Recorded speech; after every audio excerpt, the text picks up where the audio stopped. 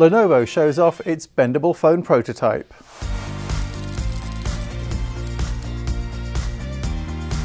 Lenovo is giving us a glimpse at some future smartphones and tablets. They have bendable screens, and the company demonstrated them at its Lenovo World Conference in San Francisco. As you can tell, I'm wearing a super cute dress today, but it doesn't have any pockets. So where am I supposed to put my phone? I can just wear it. and I've gotten to play with this new tablet. I've been looking at pictures of adorable kitties, but if I need to, I can fold it up and take super serious business calls. Or I can just open it back up and look at pictures of kitties again.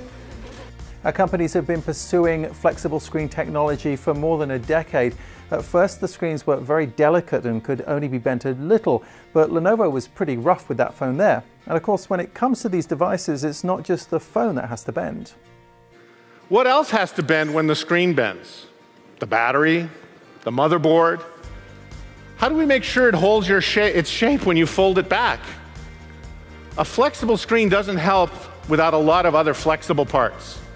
And it doesn't help when you can't see when it's folded. Those are Lenovo's innovations.